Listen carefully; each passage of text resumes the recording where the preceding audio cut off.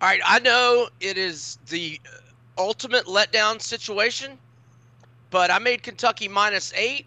Now, I, hey, so it was 13 and a half, and I bought it to 14. I think the line's moved and it's 12 and a half. It but is. I just, I just believe in Diego effing Pavia.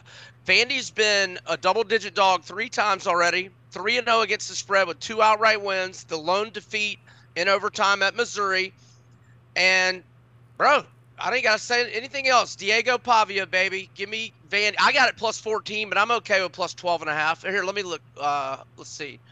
All right, I see. Uh, there's still 13. There's some 13s out there. All right, so I'm gonna tell you this is gonna be a Vinny Verno because he Vandy? he had he had a bad week last week, but he sent me his picks this week, and I'm gonna give you one stat. You're gonna like this. Road underdogs of seven or more. So like you said, it's still 12 and a half. It's like 13, right?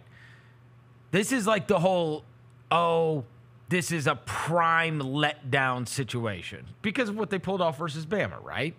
That exact situation where a team has won outright as a 20 plus point dog, and then the next week, if they were a seven or more point underdog, since 2001, they're 22 and 7 against the spread.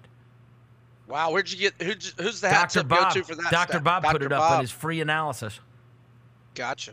I was reading through it and I was like, whoa, now that, that's a real one. Yeah. That's a real Right. stat, right? That's a here, here's the situation.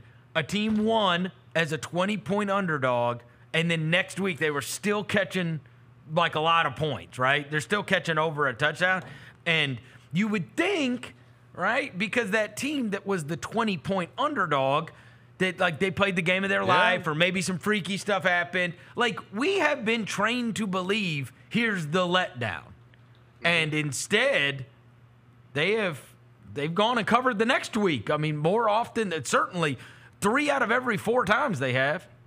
Well, you know, when you're getting more than 20, I guess it can be such a confidence boost Yeah. that that you kind of carry it over. Well, it might than prove that you're down. good. I also don't trust Kentucky to beat any team with a pulse by more than 14. Yeah, what they, they scored they scored 20 against Ole Miss, right? Yeah,